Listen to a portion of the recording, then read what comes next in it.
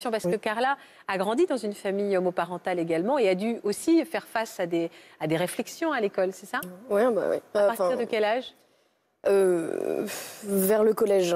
Enfin, principalement vers le collège, parce qu'en primaire, euh, ils ne voyaient pas du tout de différence. Bah oui.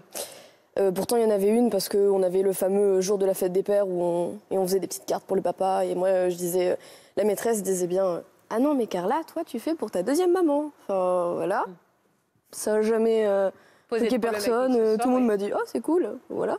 Arrivé au collège, par contre, euh, d'un seul coup, c'est pas bien du tout.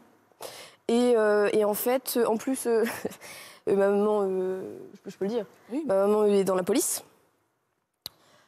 Ça aide pas non plus. Euh, et, euh, et en plus, euh, le collège était vraiment, euh, il y a la route, le, le commissariat, le collège, Ah oui. la fenêtre du bureau de ma mère, Sur le la fenêtre sur le de, mon cours d'anglais. Ah oui, Ah hein, ouais. donc vraiment un visuel. euh, Vous la surveillez? Sans rire. Non. Bah, je suis, Très ah, gentiment. Je veux dire, je suis mère poule, voire tigresse. Donc, euh, effectivement, je. Vous aviez toujours un œil sur votre fille. Ouais. Et au collège, c'était quoi comme genre de réflexion? Euh, ben, euh, ta mère, euh, la poulette Gwyn, euh, la sale Gwyn, euh, sale lesbienne, enfin des trucs comme ça. Et vous avez appréhendé comment ces réflexions? Vous, vous en avez souffert, Carla, ou Alors, vous avez pris du recul tout de suite parce que vous connaissiez l'histoire de vos, de vos mamans? Alors, euh, ben moi, je, enfin, je suis née, je dis bon, ben, j'ai deux mamans, euh, voilà, c'est un fait. Je, je vis, enfin, je vis toute mon enfance en me disant j'ai deux mamans, c'est, normal. Enfin, j'ai deux mamans, enfin, toi, t'as un papa et une maman, ok, c'est cool, mais enfin, c'est pareil pour moi. Et du coup, arrivé là, je me dis au début, pourquoi ils me disent ça? Enfin, au début, je me dis, ça se trouve, parce qu'il n'y a pas que des moqueries sur ça, il y a des moqueries sur t'es gros, euh, sur des. euh, Ouais. du coup, je me dis, ils cherchent un truc à m'embêter. Parce que j'ai été larisée euh, pas que pour ça. Donc, je me dis, ça se trouve, c'est vraiment pour me piquer. Et après, je, je commence à m'intéresser. Et après, à voir à la télé des gens qui disent, oui, euh, les enfants d'homosexuels, euh, enfin, on peut pas, euh, c'est des animaux. Enfin, voilà. Et là, je me dis, ah, en fait, même les adultes le disent. Hmm. Donc là, j'ai commencé à me dire, aïe, ça fait mal. Je me dis, mince. Vous êtes truc. demandé si vous étiez euh, différente, anormale euh, Enfin, au collège, on n'est pas, on n'est pas hyper formé intellectuellement. hein. Clairement, euh, on est con comme la lune. On se pose des questions. Euh, vraiment, je me suis dit, euh, ok, du coup, alors si j'écoute, c'est une maladie. Ok, c'est une maladie. Du coup, moi, je suis malade. On fait quoi? Il y a un remède Parce que, euh, en fait, pour juste qu'on comprenne bien votre histoire, Karine, vous, vous avez toujours été en couple avec une femme, Oui.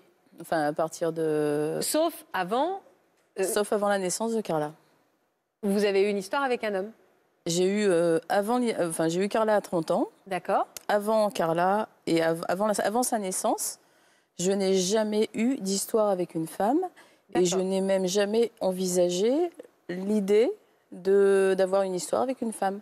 Carla est le fruit d'une union euh, amoureuse avec un homme ou Euh, d'une non. aventure? Non, non, une aventure avec un homme qui n'a pas duré. Le père euh, a désiré garder l'anonymat. Il l'a reconnu?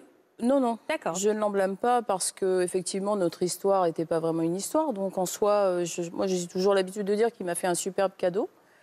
Et euh, en fait, j'ai le sentiment que euh, j'avais euh, gardé à l'intérieur de moi, tout au fond, le fait que j'étais attirée par les femmes, Ouais. parce que je pense que l'envie d'avoir un enfant était plus fort. Ah oui. Et vous êtes tombée amoureuse d'une femme après la naissance de Carla Oui. et c'est une femme qui a partagé votre vie, qui a élevé Carla à vos côtés? Qui a été là pendant six ans, euh, on ne peut pas proprement parler, dire qu'elle a élevé Carla, puisque c'était euh, un peu une relation compliquée.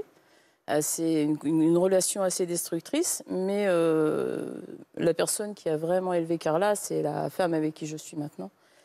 La femme de ma vie, qui est, avec qui on est mariés et- Depuis combien de temps? Depuis bientôt 4 ans. Et on est ensemble depuis 8 ans. D'accord. Donc Carla a toujours connu sa maman homosexuelle? Toujours. C'était sa norme? Oui. à elle jusqu'au collège où on lui a bien souligné que ça n'était pas normal? Oui. C'est bien ça. Oui, pardon, oui. Pourquoi vous êtes émue, Carla? Euh, pour rien.